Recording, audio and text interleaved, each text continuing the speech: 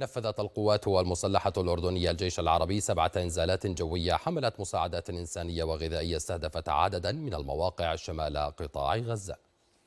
نفذت القوات المسلحة الأردنية الجيش العربي اليوم الخميس سبعة إنزالات جوية حملت مساعدات إنسانية وغذائية استهدفت عددا من المواقع شمال قطاع غزة. ونفذت عملية الإنزال طائرتين من نوع سي 130 تابعتين لسلاح الجو الملكي الأردني وطائرة تابعة لجمهورية مصر العربية الشقيقة إضافة إلى طائرتين تابعتين للولايات المتحدة الأمريكية وطائرة تابعة لجمهورية ألمانيا الاتحادية وطائرة تابعة لجمهورية سنغافورة. وتأتي المشاركة الدولية في عملية الإنزال في إطار جهود المملكة الأردنية الهاشمية لحشد دعم المزيد من المواقف الدولية لإيصال المساعدات الغذائية للسكان الذين يعانون ظروف المجاعة نتيجة الحرب الإسرائيلية المستمرة خاصة في شهر رمضان المبارك. وتؤكد القوات المسلحة أنها مستمرة بإرسال المساعدات الإنسانية والطبية